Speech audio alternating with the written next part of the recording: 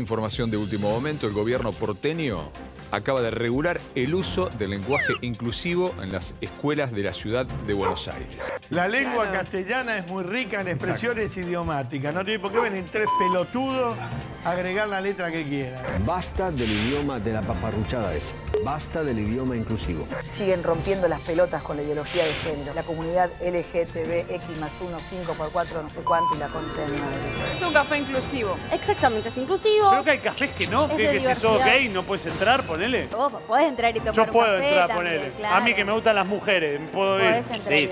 Viene una fea y le dice, No yo te defiendo. envidia. No hay que decir Hagamos que no nos digan piropo. No, a vos no te dicen por fea. No voy a estar pidiendo perdón por tener pene. No tengo por qué sentir vergüenza de ser un hombre blanco, rubio de ojos celestes.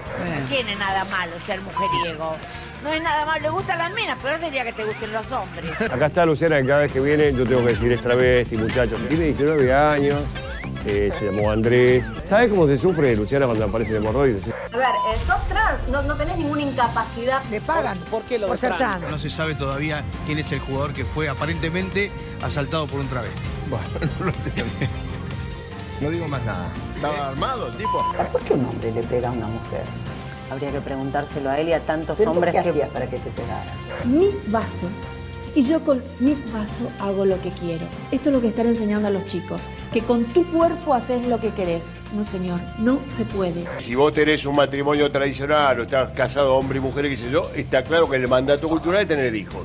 Así están las cosas, país, y se las hemos contado.